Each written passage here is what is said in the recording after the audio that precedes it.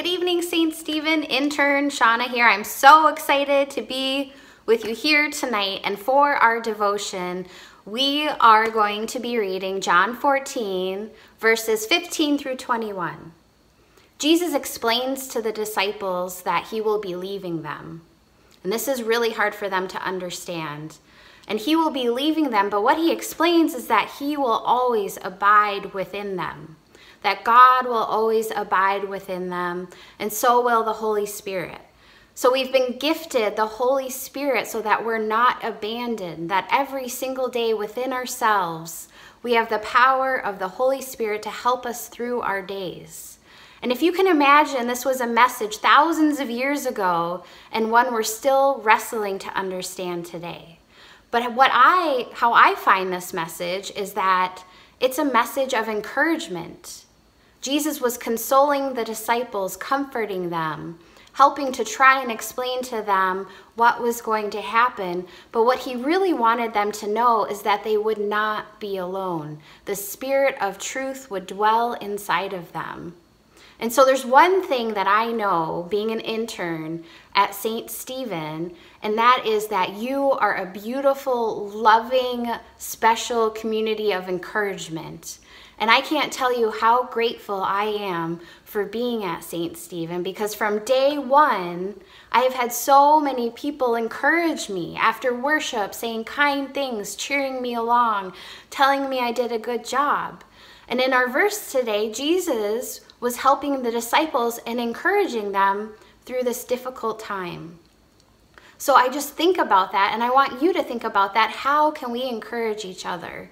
We're all going through different feelings. Sometimes we're restless, sometimes we have anxiety, sometimes we feel cooped up, and let's encourage each other. We're going to feel a season of different emotions, and I know in our beautiful community that encouragement is one of our strengths. So we have learned from our message today that the Holy Spirit abides within us, that we are never alone, that we have this fierce advocate with us always. And so, what we can do is be that advocate for others and lift one another up during this challenging time. So, a couple of weekends ago, on a beautiful weekend, a couple of the neighbors and myself got together. We had a big circle and we were social distancing and we got into this heavy conversation about the state of the world.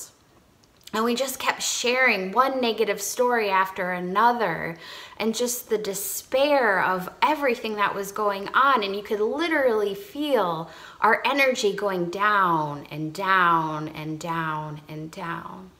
But then after we let those feelings out, what we chose to do was to dwell in what was going well and seeing so many more neighbors out in their yards and children out playing and just all the beautiful things that people are doing right now, the little messages people are putting on their sidewalks or the ways people are helping the best that they can. And so I think it's so important for us to remember that we can dwell in the space of lament, but then to get us through this challenging time, we need to encourage one another. And so a couple of weeks ago in the children's message, I asked if the children would draw themselves with Jesus, and I got a couple pictures back and I wanted to share them with you.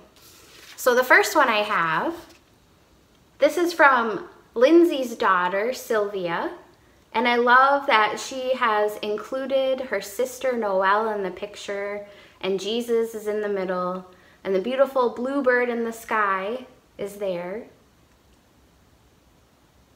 And then another one of our beautiful members who wanted to join in on the fun are Ruth and Chuck Oliver.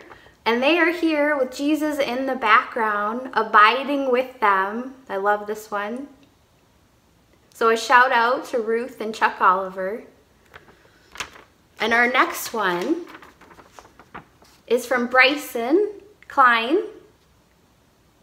And I really love how he says that Jesus is with me even when I'm sad, tired, or mad.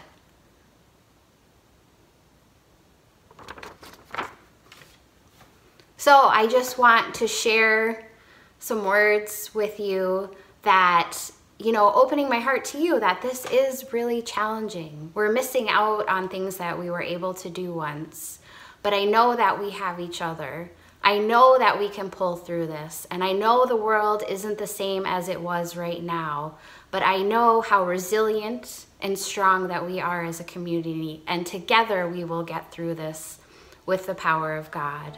So God bless you. I love you. And I'm so excited when we can be with each other again. Good evening.